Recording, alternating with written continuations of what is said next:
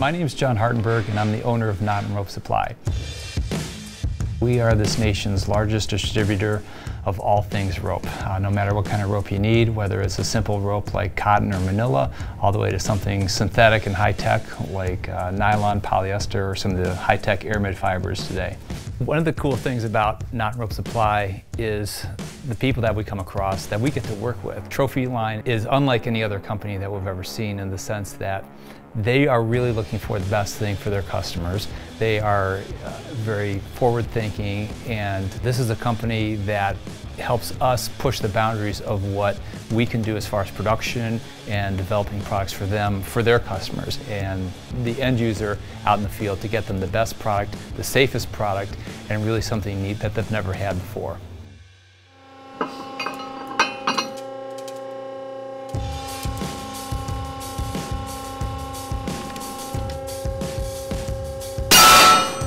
In our business, it's very easy for people to make bold claims about rope strength and rope performance and things like that. But you never really know until you get it to a facility where you can test it quantitatively on machines that are specifically designed to do this. And that's what we do with Trophyline ropes. We'll put the prusik cord on the rope. We'll break test that. We'll break test the ropes and push them to failure without the prusik cord really to make sure that everything is working the way it should be, that the ropes are made right, that the splices and stitching are made right, the prusik cords and everything is exactly where it needs to be. And you can, so there's that end. Oh yeah. And this is really what you want to see. Yeah. Oh yeah. And that was 6,000, here's your 6,067 pounds. That's the, the, peak load on there. Awesome.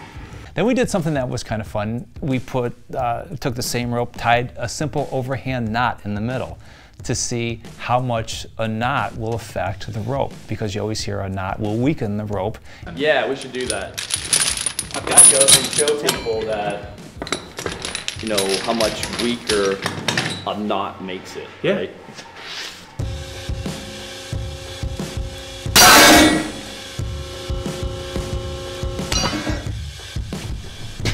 Yeah, lost in the middle though. Yeah. yeah. Good stuff. People ask us like, what's what's stronger, this or um, what's it called? Hand splice. Hand splice. You're gonna have video of right. those things not breaking. Right. Yep. Um, yep. That's the key to it.